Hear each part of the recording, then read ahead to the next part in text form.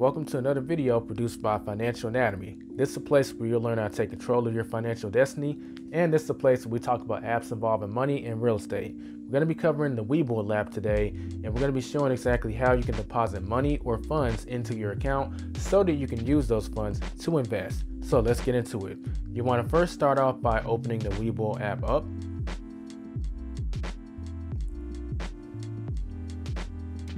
And once you're here, you'll want to click on the menu icon at the bottom right hand corner. Once you arrive at this page, click on More and scroll down. You'll see a button that says Deposit. Click on it. And from here, you'll have two different choices. You can set up a reoccurring deposit or you can deposit money one time. We'll cover the reoccurring deposit first. Click on Reoccurring Deposit. And this is the place where you can set up an amount of money to be deposited into your account on a recurring basis. It could be daily, weekly, or monthly. You can decide by clicking on the schedule.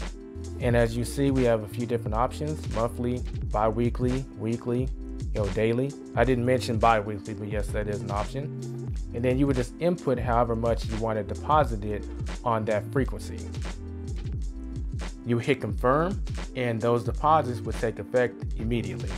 But we're not setting up a reoccurring deposit. This is for demonstration purposes. I just want to do a one-time deposit.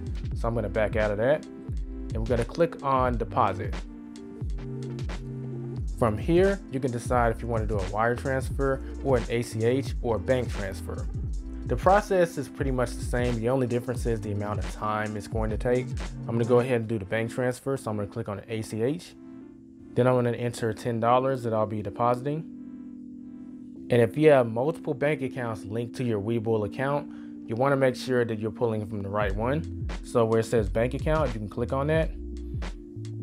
And where it says change account, if you had multiple accounts, then you click change account and click the account that you want the money deposited in. You can also see a history of the deposits that you've made for the duration of the time that you had an account with Webull by clicking on the little document slash clock icon at the top right hand corner and you'll see the history. And if you needed to contact support, you can click the question mark in the top right hand corner. Of course, I don't need to do that, so I'm gonna back out of that. We're gonna go ahead and deposit the $10. And you're just getting the confirmation and also the estimated arrival time. It does put in red to make sure you have money in the account, so make sure you do because you don't want to get hit with any kind of uh, fees. Click on confirm. Deposit application submitted. From here, there's nothing more that you need to do. If you want to see more details about this transaction, you click on view details. And if for some reason you need to cancel your deposit, you can click the cancel deposit button right underneath there. Real quick, I do want to bring up the fact that the way Webull works, they will actually give you instant buying power the moment you decide to make a deposit. Even though Webull hasn't pulled money from your account yet and it hasn't settled into your account, they'll give you the ability to go ahead and use that $10 or however much you deposited to go ahead and buy using their app. So you'll be able to go ahead and spend that money in the account as if it's already been transferred. And with that being said, we've covered how to deposit money using the Webull app. If you have any other questions or comments, feel free to leave them in the comment section below. Don't forget to subscribe if you're new and give us a thumbs up if you found value in this video.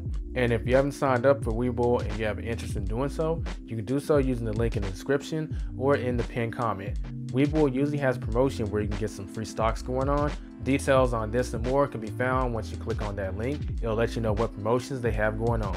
This has been Elijah with Financial Anatomy. I'll catch you in the next video. Don't forget to get out there and take control of your financial destiny.